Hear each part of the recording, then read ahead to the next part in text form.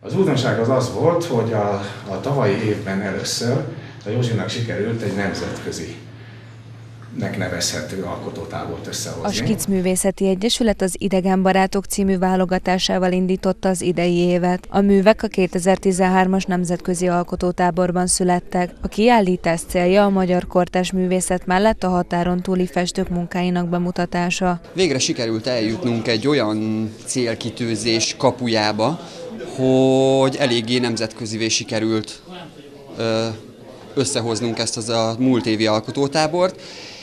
Ez nekünk is új volt, kicsit nehéz is volt, de mindenféleképp nagyon sok tanúságot tudtunk leszűrni belőle. Nekünk ez egy tervünk volt, vagy egy vágyunk volt. Ez szerintem nagyon szép szó ez a kulturális híd. És mi ezt szeretnénk is megvalósítani, és úgy is néz ki, hogy meg is tudtuk valósítani, és szeretnénk ezt még tovább bővíteni. És szerintem ezáltal, akik Magyarországról képviseltetik magukat ebben a táborban, ez nekik is egy nagyon jó lehetőség, hogy találkozhatnak olyan képzőművészekkel, olyan gondolkodásmóddal, olyan fajta technikákkal, amikkel mondjuk egyébként nagyon nehezen tudnának találkozni. Mindent érdemes megnézni, minden információ.